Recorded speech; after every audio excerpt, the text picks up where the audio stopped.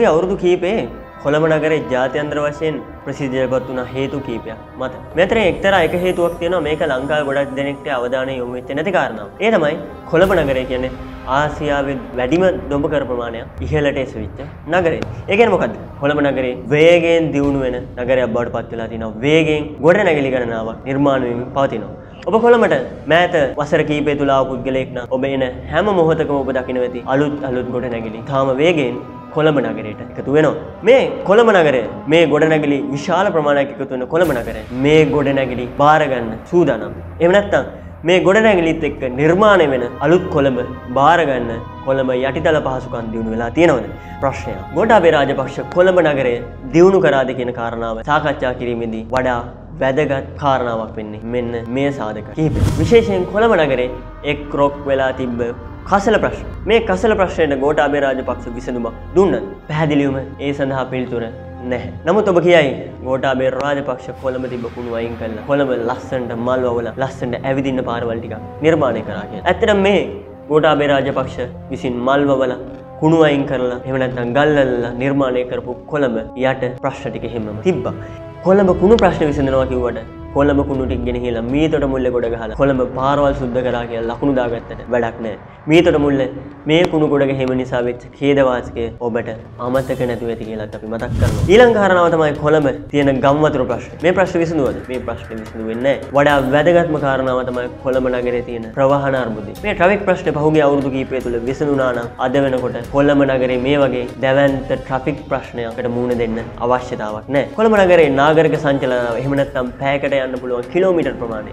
අද වෙනකොට ඉතාමත් මන්දගමි වෙලා තියෙන මේ ප්‍රශ්නවලට හේතුව මොකක්ද? කොළඹ තිබ්බ ඇත්ත ප්‍රශ්න ටික විසඳන්න නැතුව කොළඹ ප්‍රශ්න උඩින් මල්ලවල මම නගරය දියුණු කරා කියලා හම්පෝරි ගහපු එක විතරයි ගෝඨාභය රාජපක්ෂ කරේ. පාරවල් වල හිටපු යාචකෝ ටික මරලා දාලා එහෙම නැත්නම් පාරේ හිටපු බල්ලෝ ටික අරන් ගිහිල්ලා මරලා දාලා මේ කොළඹ නගරය ඇතුලේ තැන් තැන් වල මල් වවලා තැන් තැන් වල ගල් අල්ලලා කරපු සංවර්ධනය කිසිම ප්‍රයෝජනයක් නැති බව අපිට පේන්න අද තියෙනවා. එහෙනම් පහුගිය අවුරුදු කිහිපය තුළ මොනවද සිද්ධ වුණේ කොළඹ නගරය සම්බන්ධ? පළවෙනි කාරණාව තමයි කොළඹ තිබ්බ විශාලම ප්‍රශ්න වෙච්ච කැලි කසල ප්‍රශ්නෙට විසඳුමක් ලබා දුන්නා. ඒ තමයි ඔබ ඔබ අපි හැමෝම දන්න අරුවක්කාරු කසල රඳවනේ තිරසාර විසඳුමක් විදිහට කසල ප්‍රශ්නෙට ගෙනල්ලා තියෙනවා. ඊළඟ කාරණාව තමයි පොඩි වැස්සක් වැස්සත් යට වෙන කොළඹට අලුතෙන් නිර්මාණය කරලා පටන් ගන්න තියෙනවා වැසි ජලය බැහැලා යන උමගක් හදන්න මේවා තමයි කොළඹ නම් ඉතින් තිබ්බ ප්‍රශ්න සැබෑ ප්‍රශ්න. මේ වැහි ජලය බැහැලා යන්න අද වෙනකොට උමග නිර්මාණය කරන්න පටන් ගන්න තියෙනවා. ඒක ඉතාම ඉක්මනින් අවසන් වෙන්න නිමිතයි. ඊළඟට කොළඹ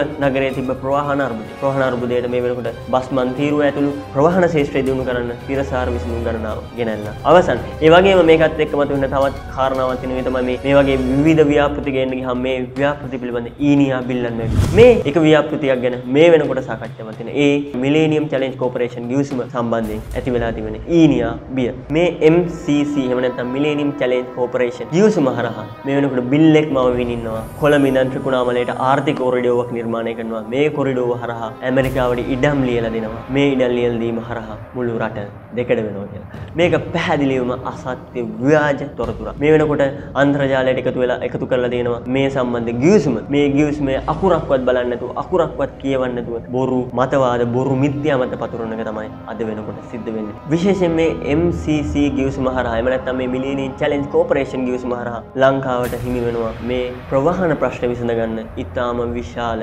දැවැන්ත මුදලක් ප්‍රධානයක් විදිහට. එහෙම නැත්නම් ග්‍රාන්ට් එකක්.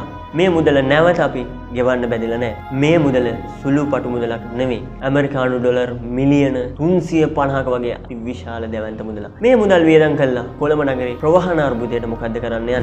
දියුණු රථ වාහන කළමනාකරණ පද්ධතියක්. එහෙම නැත්නම් ට්‍රැෆික් මැනේජ්මන්ට් සිස්ටම් එක. මේ ට්‍රැෆික් මැනේජ්මන්ට් සිස්ටම් එක හරහා කොළඹ නගරේ මාන්සන්දි 150 දියුණු කරන්න බලාපොරොත්තු වෙනවා. මේ මාන්සන්දි වලට නව කැමරා පද්ධතියක් හයි කරන්න. ඒ වගේම ඉන්ෆ්‍රාරෙඩ් තාක්ෂණය මගින් බස් සහ ප්‍රවාහන පද්ධතිය එන වාහන නිරීක්ෂණය කරන්න. ඒ මොහොතේම ඒ මාර්ගයේ තියෙන මාර්ග තදබලය අනුව වෙනස් වෙන රථවාහන කළමනාකරණ පද්ධතියක් තමයි නිර්මාණය වෙන්න නියමිත වෙලා තියෙන්නේ. මේක ලෝකෙ බොහෝ දියුණු රටවල් වල තියෙන තාක්ෂණයක්. මේ තාක්ෂණය ලබා දෙනවා මේ මේ ව්‍යාපෘතිය හරහා. ඊළඟ කාරණාවට ගියහම බස් ප්‍රවාහන සේවය දියුණු කරන එක. ලංකාව මේ වෙනකොට තියෙන ඔබත් මාත් දන්නවා ලොරි එන්ජින් වලට හයි කරපු බොඩි උඩ දුවන බස් රථ ප්‍රවාහන පද්ධතියක් තියෙනවා. මේ බස් වල උදේ හවස වැඩට ගියාම කොන්දේ අමාරුව හැදෙන්නේ ඔබට සහ මට. හැබැයි මේ දියුණු ප්‍රවාහන පද්ධතියක් නිර්මාණය වීමේ මේ වැඩපිළිවෙල යටතේ අපට ලැබෙන ඉතාම සුව පහසු බස් සත ප්‍රවාහන පද්ධතියක්. මේක තුලින් ඔබට පුළුවන් ඉදිරියේදී ඊටාම සුව පහසු විදිහට උදේ හවස තමන්ගේ සේවස්ථානයට යන්න සහ නැවත නිවස බලන්න. ඒ වගේම කොළඹින් එළියට ගියාම තවත් ප්‍රවාහන පද්ධතියේ දියුණු වෙනස්කම් රාශියක් කරන්න මේ MCC ව්‍යාපෘතිය හරහා බලාපොරොත්තු වෙනවා. මේ ව්‍යාපෘති ඇමරිකාව විසින් නිර්මාණය කරපු ව්‍යාපෘතියක්. පැහැදිලිම පිළිතුර නැහැ. අප කතා කරපු මේ ව්‍යාපෘති සියල්ල ලංකාවේ විද්වතුන් 3000ක් පමණ එකතු වෙලා නිර්මාණය කරපු ජාතික භෞතික සංවර්ධන සැලැස්ම යටතේ තියෙන ව්‍යාපෘති. මේ ව්‍යාපෘති ක්‍රියාත්මක කිරීම සඳහා ලංකාවට මුදල් තිබුණේ නැහැ. ඒ නිසා තමයි ඇමරිකානු මිලේනියම් කෝපරේෂන් කියන ආයතනය හරහා මේකට අවශ්‍ය කරන මේ ප්‍රධානය ලබා ගන්න වර්තමාන රජය කටයුතු කරන මේ මිලේනියම් චැලෙන්ජ් කෝපරේෂන් කියන මේ ව්‍යාපෘතිය හරහා උදව් කරන්නේ ලංකාවට විතරක් නෙමෙයි. මේ වගේ රටවල් 20කට මේ වෙනකොට උදව් කරනවා. ඒ වගේම ඔවුන්ගේ ඉතිහාසය ගත්තාම මේ වගේ ව්‍යාපෘති ගණනාවක් ලෝකේ රටවල් ගණනාවක් කරලා දෙනවා. මේ කිසිදු රටක ඇමරිකානු ආධිපත්‍යයක් හරි එහෙම නැත්නම් ඇමරිකානු භූමියක් පත් කර ගැනීමක් හරි සිද්ධ වෙලා නැහැ. අපිට මතක ඉතිහාසයේ ඇමරිකානු හඬ එහෙම නැත්නම් Voice of America තවරක ඒ සේවය ඇවිල්ලා ලංකාවේ පිහිටවනකොට මේ වගේම බිල්ල මැවුවා. ලංකාවේ ආරක්ෂක පද්ධතිය ඇමරිකාවට දුන්නා කියලා. මේ වගේම බිල්ල මැවුවා. හැබැයි අපි අදටත් කතා කරන අපි අදට sannivedanaya කරන අපේ දුරකථන මාර්ග ටික හැදුනේ නිර්මාණය වුණේ මේ මේ American Voice මේ සේවය ලංකාවට ආවට පස්සේ. මේ වගේ මේ කාලෙන් කාලට මේ ව්‍යාපෘති ගැන බිල්ලුමමන එක අධිරාජ්‍යවාදී කුමන්ත්‍රණ හදන එක එක්තරා දේශපාලන නඩයක වැඩක්. හැබැයි අපි පැහැදිලිව එක් අභියෝගයක් කරන්න ලෑස්ති. මේ MCC ව්‍යාපෘතියට තමන් විරුද්ධයි කියලා පුළුවන් නම් කියන්න.